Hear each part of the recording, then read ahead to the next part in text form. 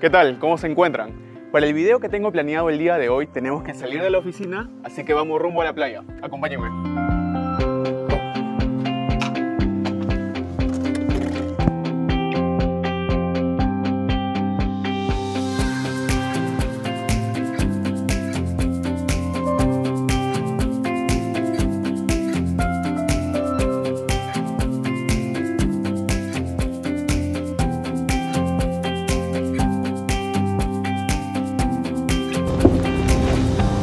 Bien, acabamos de llegar a la playa de lo que te quiero hablar el día de hoy es sobre algunas lecciones que pude aprender para la vida practicando surf.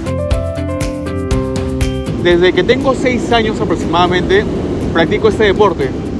Mi papá me trajo a la playa desde esa edad y la verdad es que desde el primer momento en el que pude practicar este lindo deporte me enamoré y desde entonces, cada vez que tengo tiempo, vengo acá a la playa a poder practicarlo y también me desestresa un poco.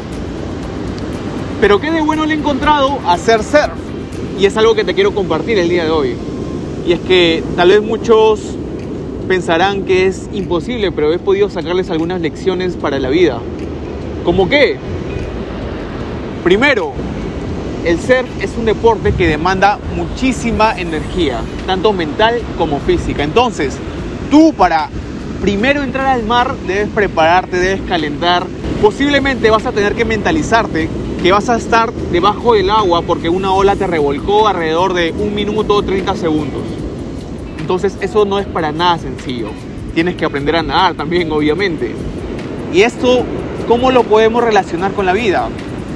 Porque si es que tú quieres tomar acción por alguna inversión, por ejemplo, no necesariamente los bienes raíces, quieres abrir tu propio emprendimiento, un restaurante, tu empresa, debes prepararte también. No simplemente lanzarte ahí a lo loco. ¿Crees que la gente simplemente se lanza al agua y llega hasta el punto más fondo para poder esperar la ola perfecta? Claro que no.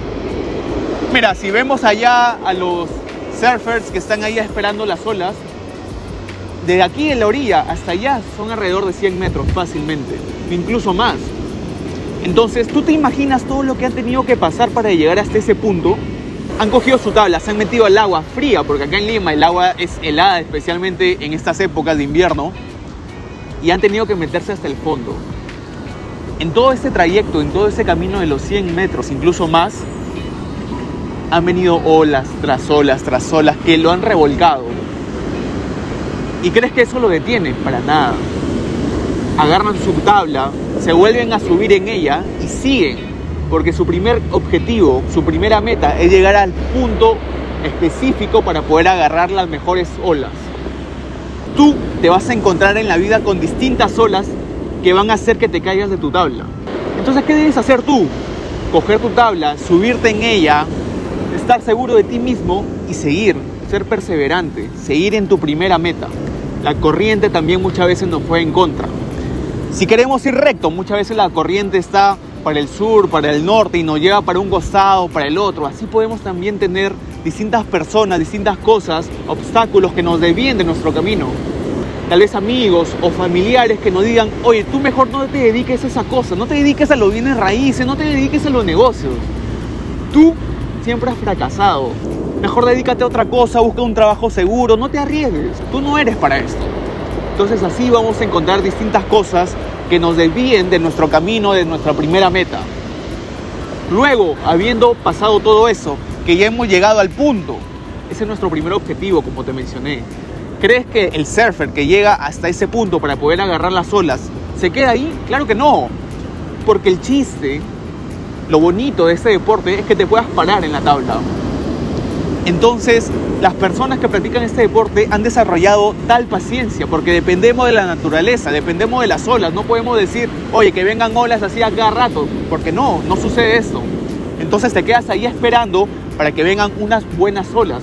Van a venir 10, 6, pero no todas van a ser buenas. No todas van a tener la misma fuerza, no todas van a ser tan grandes. Algunas te van a jalar 20 metros y nada más. Ese no es el chiste.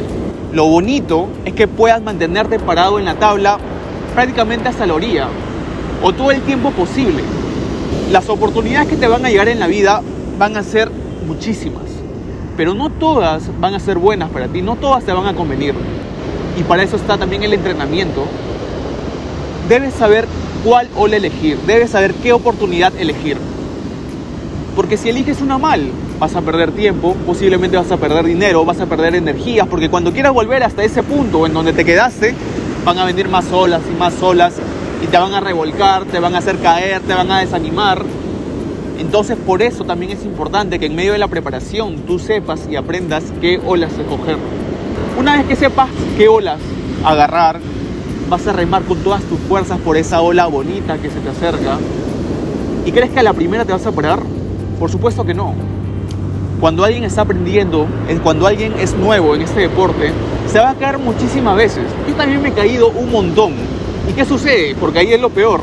La ola te revuelca, a veces te caes en punta. A mí me ha pasado, yo me he golpeado con piedras cayéndome, me he golpeado con la misma tabla. Me he sacado sangre acá en la frente. Y tal vez eso es lo más difícil.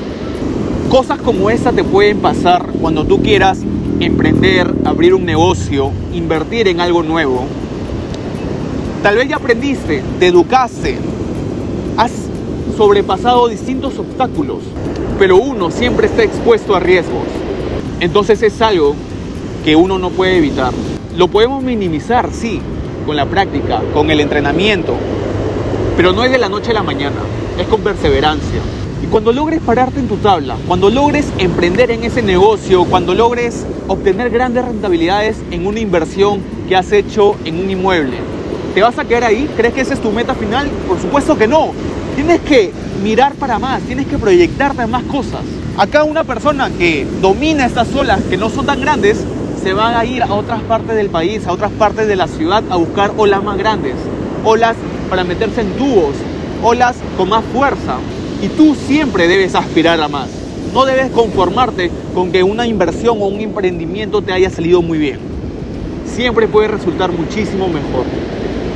Entonces, esa es la lección que te quiero dar el día de hoy. Algo muy pequeño, pero considero que también muy valioso.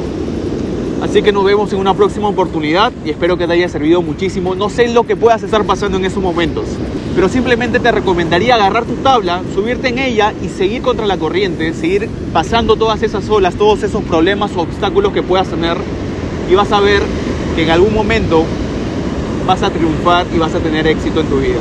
Cuídate mucho, nos vemos en una próxima oportunidad.